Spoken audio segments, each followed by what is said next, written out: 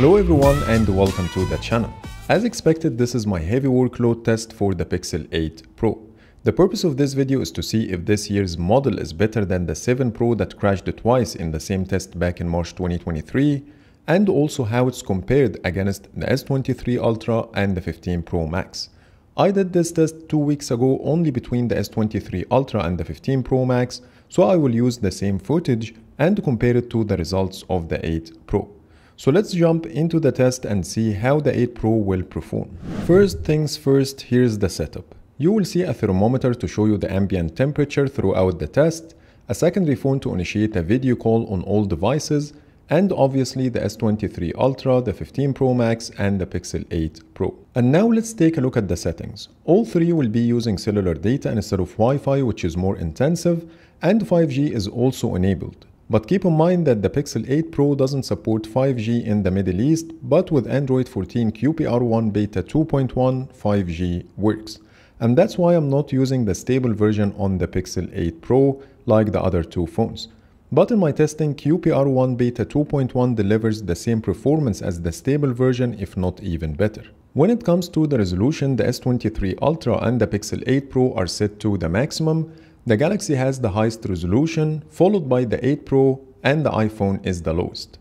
The 120Hz refresh rate is active on all three, and finally the screen brightness is calibrated, showing almost the same reading on my light meter, which is more than 80% on all of them. Now let's begin the test. The 15 Pro Max initial temperature is between 27 to 30 degrees Celsius front and back. The S23 Ultra is between 32 to 33 degrees, and the Pixel 8 Pro is between 29 to 32.4 and for some reason the hottest area in the 8 Pro body is at the bottom left corner when you look at it from the front. I expected it to be at the top near the camera, but it seems like the heat escapes from this area. Secondly, none of these phones is at 100% battery, the S23 Ultra is at 77%, the 15 Pro Max is at 63%, and the Pixel 8 Pro is at 65%. So let's start with the first task which is a Microsoft Teams meeting, send the invite to the secondary phone and start the screen sharing. Next, play a 2160p video on YouTube and keep it running in picture-in-picture -picture view. Then start the navigation to Dubai Mall using the native apps on all devices and finally play Asphalt 9. But before starting the stopwatch, let me show you that the game is set to 60 FPS on the 15 Pro Max. The S23 Ultra is 60 FPS by default and the graphics is set to high quality, but the 8 Pro doesn't have any display settings and that's because Asphalt 9 uses the built-in gaming dashboard of the Pixel software for this. And I did set it to the maximum performance. Now the stopwatch is on and the test duration is 30 minutes, so let's see what's gonna happen. Before even reaching the first race, I found the 15 Pro Max and the 8 Pro displays have identical brightness which is slightly dimmer than the S23 Ultra. It's not a great start for both, but let's keep going. After about 3 minutes, the S23 Ultra decreased the brightness as well, and here's a look at the difference in the game menu. Now it's about the same as the 15 Pro Max and the 8 Pro in the brightness level, but after a noticeably longer time. From this point till the 6 minutes mark nothing changed, but at 6 minutes and a few seconds the 15 Pro Max decreased the brightness once more, but it was a big hit this time while the S23 Ultra and the 8 Pro are much brighter. Performance-wise, all three are running the game smoothly. The 15 Pro Max has the fastest screen sharing, while the S23 Ultra and the 8 Pro are the same. But we should take into account that the Android competitors have higher screen resolutions. One more thing worth noting, the Pixel 8 Pro graphics look weird and not as sharp as the other two phones. This is not an issue with the beta software as I spotted the same thing with Asphalt 9 on the stable version too. But anyways, let's keep going.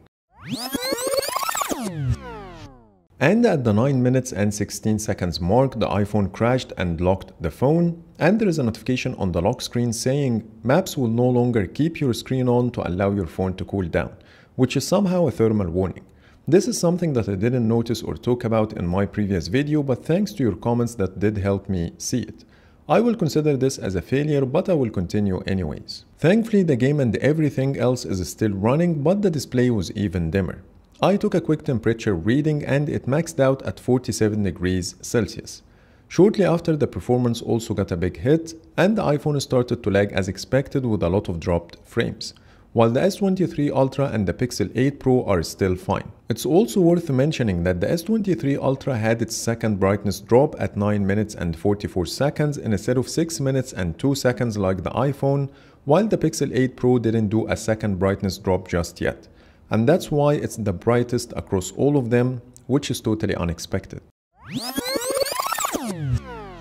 After 12 minutes and 35 seconds, the 8 Pro finally had its second brightness drop and now it matches the S23 Ultra, but both are still brighter than the iPhone. Plus the game on the iPhone was laggy and not as playable as the other two. So let's fast forward 5 minutes to see what's gonna happen. Here is a quick look at the performance after 18 minutes.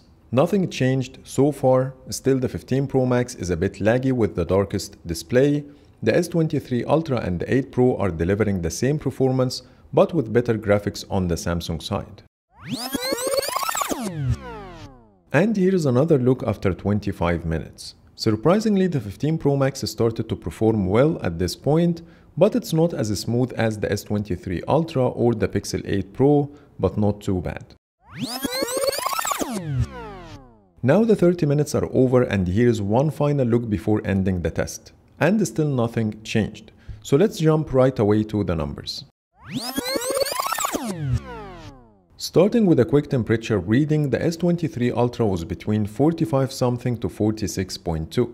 The 15 Pro Max showed 49 and 50 degrees briefly at certain spots, but the rest of the body maxed out at 45 degrees and the Pixel 8 Pro maxed out at 46.7 at the bottom left corner, while the rest of the body ranged between 42 to 45.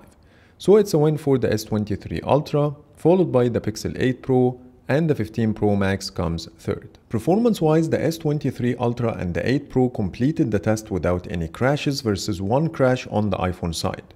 When it comes to the brightness, the 8 Pro and the S23 Ultra were neck to neck. The Samsung was brighter at the first 3 minutes, but the 8 Pro took the lead for a few minutes as well halfway through the test, while the iPhone display was the darkest. All delivered a poor screen sharing performance but the iPhone was the best. On the other side, the S23 Ultra has the highest resolution followed by the Pixel and the iPhone comes third. When it comes to the graphics quality, the Galaxy and the iPhone were equally good and noticeably better than the Pixel 8 Pro. And lastly, the S23 Ultra consumed 13% battery going from 77 to 64. The 15 Pro Max consumed 12% going from 63 to 51 and the Pixel 8 Pro lost 15% going from 65 to 50. As usual, the overall win goes to the S23 Ultra, but it's a bit hard to compare between the Pixel and the iPhone. It seems like Google tuned down the Pixel 8 Pro GPU performance to keep the thermals within average, and I'm saying that because the same game on my Pixel 7 Pro has noticeably better graphics and the frame rate which matches what I see on the iPhone and the Samsung. So I will keep the second and third ranking to your own judgment, but the S23 Ultra is the phone that delivers either under stress or normal usage. So that's pretty much it for today. That was my heavy workload test between the Pixel 8 Pro, the 15 Pro Max, and the S23 Ultra, and see you in the next video.